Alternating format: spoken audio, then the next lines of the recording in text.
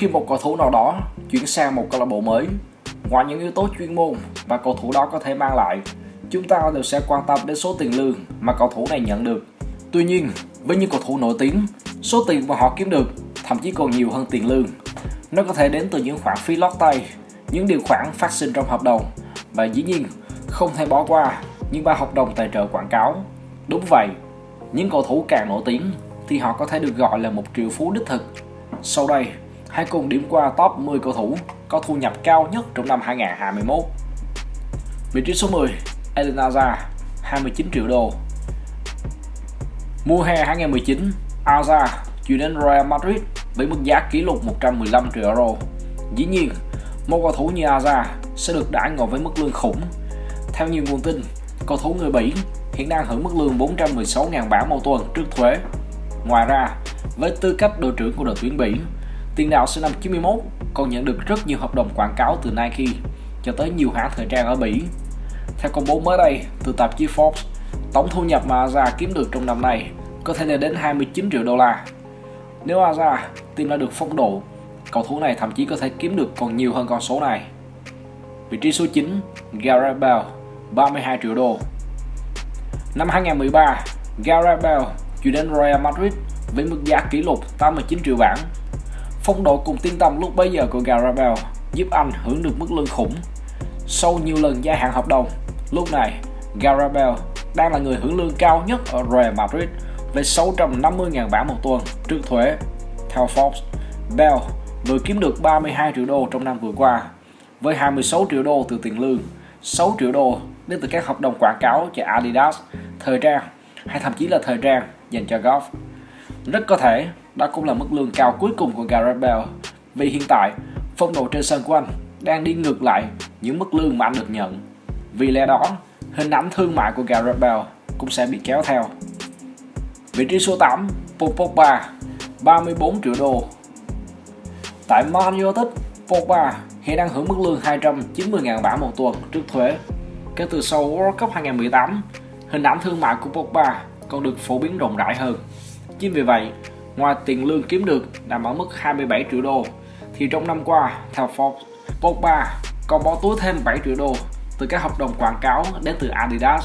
Ngoài ra, Pogba lúc này đang chỉ còn một năm trong hợp đồng ở Man United đang có nhiều nguồn tin. Quý đó sẵn sàng dưới chân tiền vệ số 6 với mức lương lên đến 400.000 bảng một tuần cao thứ nhì đội bóng. Nếu điều này xảy ra thu nhập của Pogba sẽ còn tăng lên đáng kể. Vị trí số 7 Andres Iniesta 35 triệu đô huyền thoại người Tây Ban Nha vẫn đang chinh chiến tại Nhật Bản trong màu áo Global Vissel Kobe Andres hiện đang là cầu thủ duy nhất không thi đấu ở châu Âu góp mặt trong danh sách này. Mới đây, dù đã bước sang tuổi 37, nhưng Iniesta vẫn được câu lạc bộ Nhật Bản gia hạn hợp đồng với mức lương 31 triệu euro một mùa. Ngoài ra, đẳng cấp cũng như giá trị thương mại giúp cho Thánh Andres bỏ túi thêm 4 triệu euro từ những hợp đồng quảng cáo. Ngoài ra, tiền vệ sinh năm 84 còn rất giỏi trong mảng kinh doanh. Iniesta chứng minh anh không chỉ giỏi săn những bàn thắng, săn tìm những danh hiệu mà còn ở những khoản kiếm tiền. Andres Iniesta vẫn đang kiếm được những con số đáng mơ ước dù đã bước vào độ tuổi xế chiều trong sự nghiệp bóng đá. Vị trí số 6, Robert Lewandowski, 35 triệu đô. Tiền đạo người Ba Lan đang là người hưởng lương cao nhất ở Bayern Munich với mức đãi ngộ 325.000 bảng một tuần. Kể từ khi gia nhập hầm xám, Lewandowski đang ngày càng hoàn thiện bộ kỹ năng và trở thành một tiền đạo hàng đầu. Năm nay, Levy đã 33 tuổi, song anh thậm chí còn thể hiện phong độ đáng sợ hơn. Chính vì lẽ đó, số 9 ngày càng trở nên giá trị về mặt hình ảnh, qua đó thu hút nhiều ba hợp đồng tài trợ kết xu. Theo Forbes, tiền lương của Lewandowski là 27 triệu đô la một năm, cộng thêm 8 triệu đô la từ doanh thu về Nike, quần áo, các mặt hàng khác. Với danh hiệu chiếc giày vàng châu Âu vừa mới giành được, Robert Lewandowski nhiều khả năng sẽ còn kiếm bộn hơn trong thời gian tới. Vị trí số 5, Mohamed Salah, 41 triệu đô.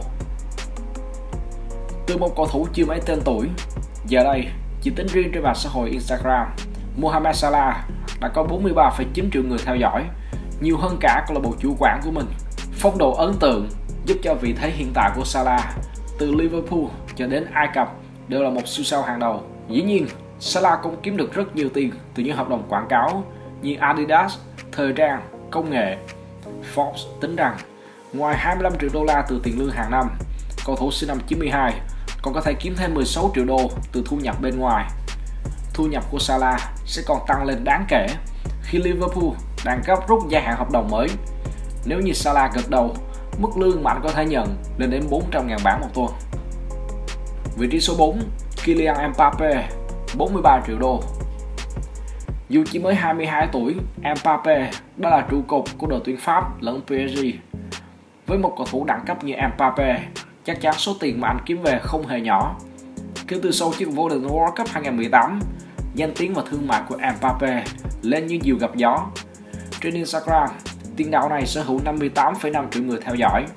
Ngoài sân, Mbappe cũng thu hút những bài hợp đồng quảng cáo kỷ lục từ Nike, đồng hồ, công nghệ và thậm chí Mbappe còn có một thương hiệu thời trang riêng. Theo Forbes, ngoài thu nhập 28 triệu đô từ tiền lương, Mbappe bỏ túi 15 triệu đô từ các khoản thu nhập bên ngoài.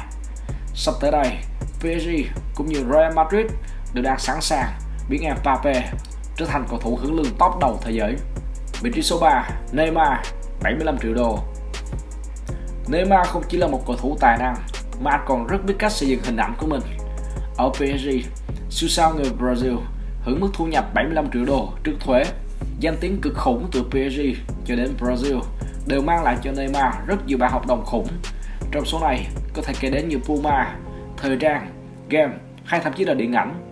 Ngoài ra, Neymar cũng đang là vận động viên có lượt theo dõi nhiều thứ ba trên nền tảng Instagram với 161 triệu người. Theo Forbes, Neymar kiếm được 95 triệu đô trong năm qua. Con số này đến từ 75 triệu đô tiền lương và 20 triệu đô từ các khoản thu nhập khác. Với danh tiếng hiện tại, thật khó nên Neymar lọt ra khỏi top 3. Vị trí số 2, Lionel Messi, 111 triệu đô. Kể từ khi gia nhập PSG, tiền lương của Messi đã không còn được như ở Barcelona. Tuy vậy, Messi vẫn đang là một trong những cầu thủ được trả lương cao nhất thế giới với mức thu nhập 40 triệu euro một mùa. Điều này là chẳng cần phải bàn cãi với một huyền thoại và vị thế như Messi. Ngoài ra, nhờ vào vị thế khổng lồ, Messi còn bỏ túi thêm những bài hợp đồng cực kỳ khủng từ Adidas, thời trang và kinh doanh. Theo Forbes, huyền thoại người Argentina thu về được 110 triệu đô trong năm qua, trong đó có 75 triệu đô từ tiền lương, 35 triệu đô từ những doanh thu ngoài lề. Dù giá trị hình ảnh của Messi đã giảm đi đáng kể kể từ khi rời Barcelona, nhưng nếu giúp cho PSG thành công, số tiền mà Messi kiếm được chắc chắn sẽ còn khủng hơn và có thể giúp anh vượt mặt được người đứng đầu trong danh sách này. Vị trí số 1, Cristiano Ronaldo, 125 triệu đô. Đứng đầu danh sách này của chúng ta không ai khác ngoài Ronaldo. Tiền đạo của Manchester United đang là người hưởng lương cao nhất tại giải Ngoại hạng Anh với 520.000 bảng một tuần. Dù không phải cầu thủ hưởng lương cao nhất thế giới, nhưng nếu xét về mặt kinh doanh ngoài sân cỏ, CR7 chắc chắn không có đối thủ. Ronaldo là ngôi sao thứ ba trên thế giới được Nike ký hợp đồng trọn đời. Forbes cho hay Ronaldo đã thu về 125 triệu đô trong năm qua, nhiều nhất trong giới cầu thủ và đứng thứ năm trong số các vận động viên thể thao. Ngoài việc thi đấu, Ronaldo còn sở hữu cho mình nhà hàng, thời trang, một thương hiệu nước hoa riêng. Trên hết, tiền đạo 36 tuổi đang là người có lượng theo dõi nhiều nhất trên mạng xã hội Instagram với 347 triệu người. Số tiền ngoài sân cỏ Ronaldo kiếm được là 55 triệu đô. Qua đó, cho thấy sức ảnh hưởng cực kỳ khủng của huyền thoại người Bồ Đào Nha bên cạnh kỹ năng bóng đá. Qua đó, cho thấy sức ảnh hưởng cực kỳ khủng của huyền thoại người Bồ Đào Nha bên ngoài khía cạnh bóng đá. Trên đây là top 10 cầu thủ có thu nhập khủng nhất trong làng bóng đá năm 2021 theo thống kê của Forbes. Có thể thấy một điều đơn giản, phong độ xuất sắc sẽ ngoài việc giúp cầu thủ của mình được hưởng lương cao mà còn mang lại cho họ tiếng tâm, hình ảnh, từ đó thu hút thêm rất nhiều dòng tiền đến từ những mạng khác. Trong top 10 năm nay đã có một chút đổi khác. Messi và Ronaldo đã đổi câu lạc bộ trong cùng một năm và cũng đổi luôn vị trí dẫn đầu. Giá trị hình ảnh của Messi đã tụt giảm đáng kể từ khi anh gia nhập PSG. Còn Ronaldo sau cú bắt tay với Manchester United, một đội bóng rất giỏi làm kinh tế. Qua đó, giúp cho tiền đạo người Bồ Đào Nha trở lại vị trí số 1 của Messi. Trên hết, top 10 trên đây đều là những cầu thủ rất nổi tiếng mặc cho phong độ của mỗi người lại đang khác nhau. Theo bạn, trong tương lai, liệu có một cầu thủ nào mới nổi có thể chen chân vào top 10 này? Còn bây giờ, xin chào và hẹn gặp lại.